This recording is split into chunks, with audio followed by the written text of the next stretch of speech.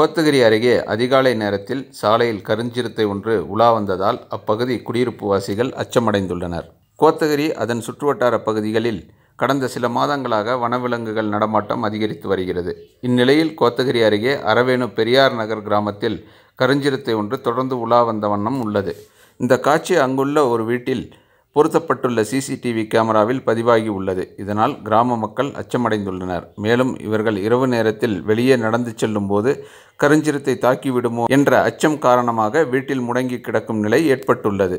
எனவே கருஞ்சிறுத்தை தாக்கி பொதுமக்களுக்கு ஏதேனும் அசம்பாவிதம் ஏற்படும் முன் கருஞ்சிறுத்தையை கூண்டு வைத்து பிடித்து அடர்ந்த வனப்பகுதியில் விட வனத்துறையினர் நடவடிக்கை எடுக்க வேண்டுமென பொதுமக்கள் கோரிக்கை விடுத்துள்ளனர்.